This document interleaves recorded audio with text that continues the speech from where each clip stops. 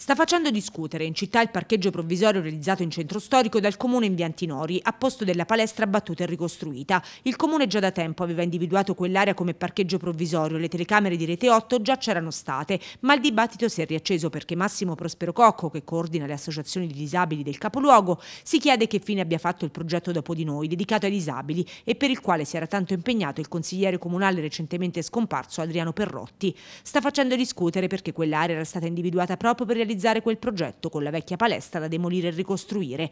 A disposizione c'erano 4,3 milioni di euro che lo stesso Perrotti si era impegnato a trovare, come si spiegava. Alcuni hanno nel tempo ritirato le donazioni, a quanto pare, altri fondi sono stati usati per il parco giochi di Viale Rendina, ne restano 1,2 di milioni di euro. Certo, è un problema grossissimo perché sinceramente sono ormai troppi anni e, e diciamo stamattina riflettevamo che fidarsi è bene ma non fidarsi probabilmente in questo caso è meglio. Ci sono 1.200.000 euro a disposizione trovati da Adriano Perrotti nel 2009 per questa cosa. Dove sono andati a finire adesso non lo sappiamo, non è che l'hanno rubati assolutamente, però nelle varie pieghe dei bilanci del, del comune andrebbero rapidamente ritrovati.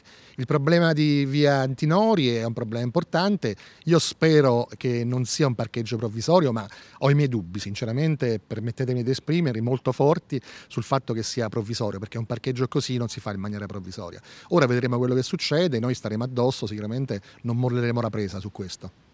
Il comune dal canto suo assicura che i parcheggi saranno solo provvisori e l'assessore Bignotti spiega che saranno presto operativi da inizio 2022 due appartamenti in via Filomosi Guelfi per il dopo di noi e successivamente anche altri appartamenti del progetto Case di Sant'Antonio.